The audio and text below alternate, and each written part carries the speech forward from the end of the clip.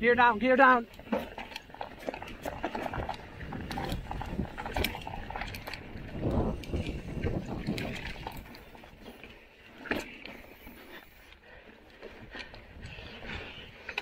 Oh, you got it.